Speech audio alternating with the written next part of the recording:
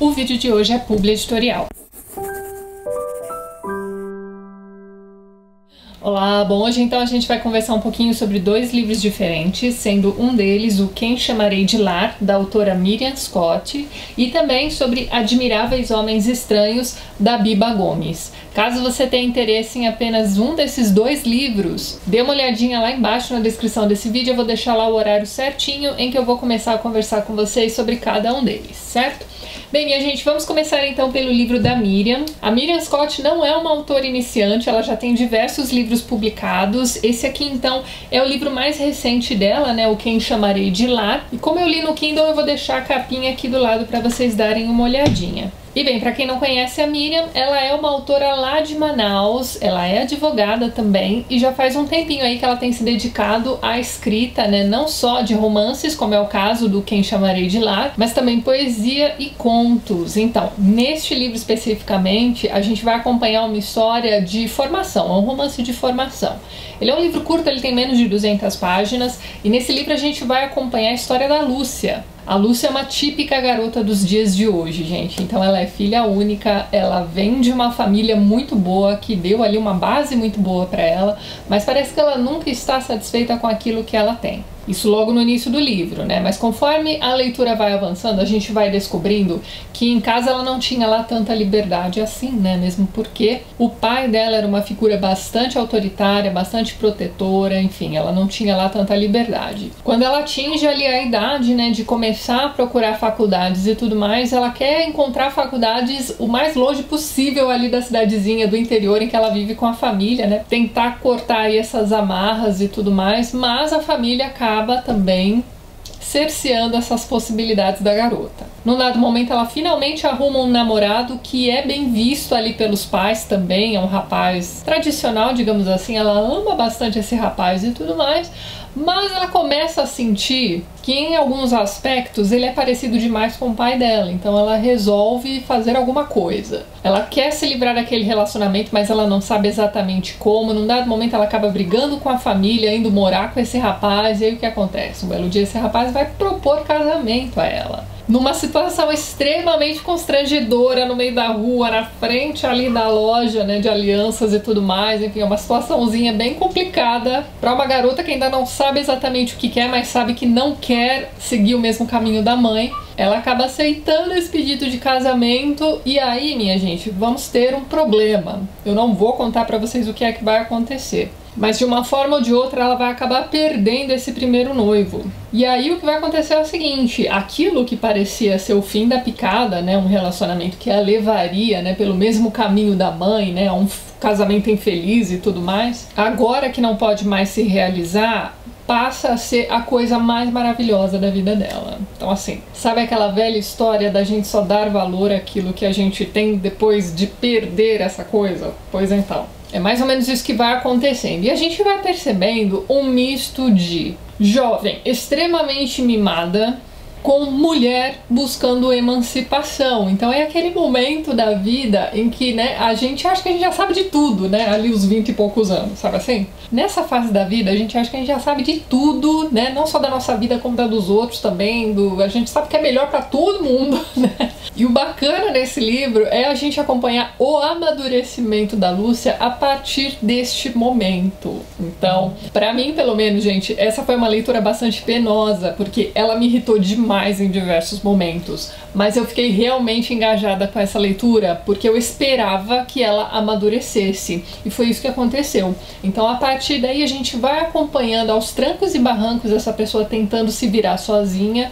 o que é excelente, né, no caso dela principalmente, porque ela vai perceber que ela devia ter dado valor ali a determinadas atitudes dos pais, ao mesmo tempo que ela vai descobrindo também que sobre outras coisas ela realmente tinha razão a gente vai passando por essa fase de autodescoberta e tudo mais, e assim, ela vai durante muito tempo colocar todas as expectativas dela de felicidade em outras pessoas. Não só naquele rapaz do primeiro relacionamento que não deu muito certo, enfim, ela vai responsabilizando os outros pelos seus próprios problemas, mas a gente vai acompanhando essa personagem que vai percebendo que a vida não é bem assim.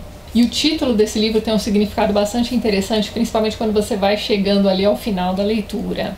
Gente, esse é um baita livro bacana, literatura contemporânea da melhor qualidade. A gente percebe que houve um cuidado muito grande no criar e desenvolver dessa história. A autora realmente foi muito caprichosa aqui. E uma coisa muito bacana que eu percebi nesse livro também é uma certa delicadeza no contar né, do desenvolvimento dessa personagem feminina que vai passar por problemas tenebrosos, ela vai passar por perdas muito grandes, né, irreparáveis, enfim. Vai lidando com tudo isso, mas de um jeito mais, como é que a gente pode dizer, relacionável com a vida real sem precisar exagerar nada, então assim, sem aquela questão da evisceração da personagem feminina que eu já vinha conversando com vocês, principalmente no vídeo sobre a vegetariana. Se vocês não viram, eu vou deixar o link lá embaixo. Mas então, nesse aspecto, principalmente o livro da Miriam Scott está impecável. Então assim, deixo aqui minha recomendação fortíssima de que vocês conheçam o livro da Miriam. Lá embaixo na descrição do vídeo eu vou deixar não só o link para onde vocês podem encontrar o livro, como também a autora nas redes sociais.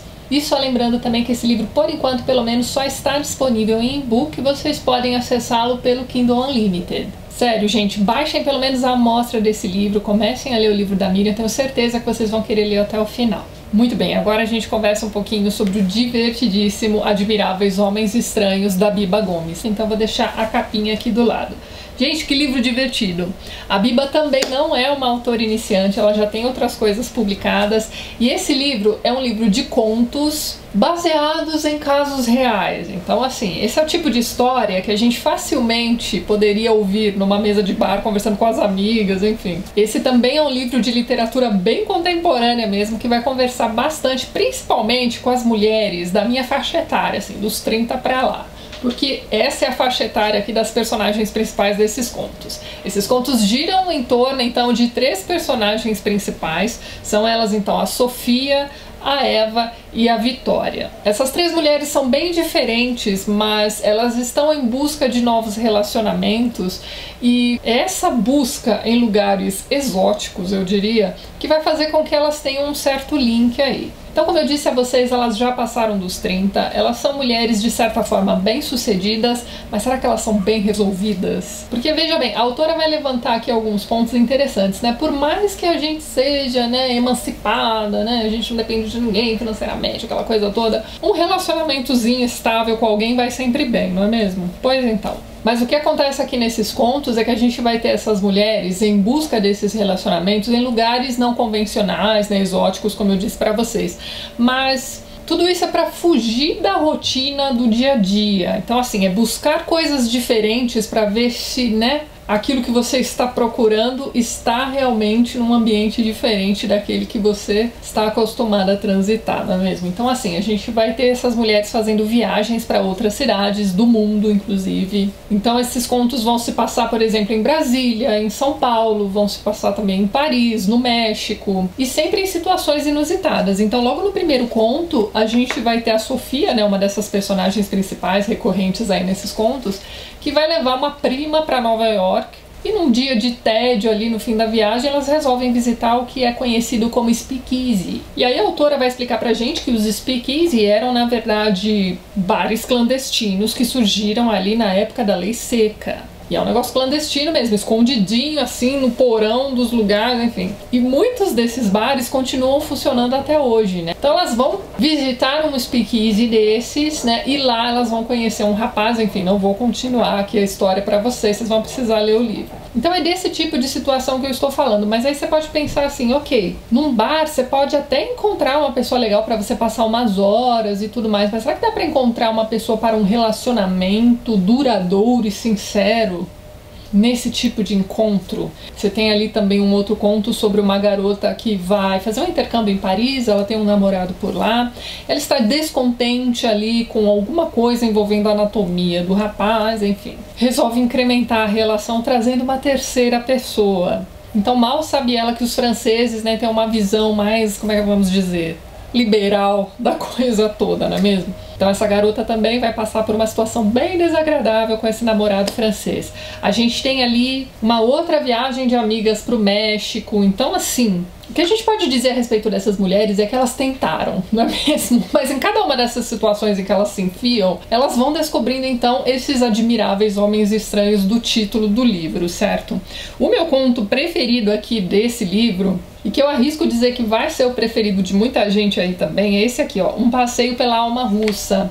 Então aqui, eu acho que é a Sofia mesmo vai visitar uma exposição sobre a Rússia, né, sobre a arte russa e tudo mais, e nessa exposição ela vai encontrar ali pessoas russas, né, que trabalham ali naquela exposição e por conta dessa conversa entre essas três pessoas, a gente vai conhecer bastante sobre a cultura russa. Então são informações que vão bem além da literatura, eles vão falar de arte, eles vão falar de costumes, enfim, tudo numa linguagem muito bacana. Olha que conto bacana, gente. Eu, inclusive, recomendo a você aí que está pensando, ah, não sei se eu vou experimentar esse livro ou não, começar a leitura desse livro por esse conto. Mas é isso, esse livro também traz uma apresentação escrita pela Bianca Torreão e ela vai dizer uma coisa interessante aqui, né? Ela vai dizer que essas histórias contidas neste livro, né, mostram que o percurso muitas vezes pode ser mais interessante do que o destino final. Então a graça dessas histórias é realmente conhecer aí o percurso dessas personagens em busca desses homens estranhos. Enfim, Deixo a dica aqui para vocês desse livro bem divertido. Lá embaixo na descrição do vídeo vocês também vão encontrar os links para onde encontrar o livro. Ele também está disponível no Kindle Unlimited, é fácil de encontrar em e-book e ele também está sendo publicado em formato físico pela Clube de Autores. Então vou deixar o link para a loja da editora lá embaixo também, caso alguém tenha interesse, certo? Então é isso, minha gente. Vamos encerrando o vídeo por aqui. Deixo essas dicas aí de dois livros de novas autoras brasileiras para vocês conhecerem. Depois não deixem de voltar aqui e me contar o que vocês acharam dos livros, certo? Então é isso. Se você gostou do vídeo, não esqueça de deixar aquele seu joinha e ajudar a compartilhar. Um beijo grande para todo mundo e até mais.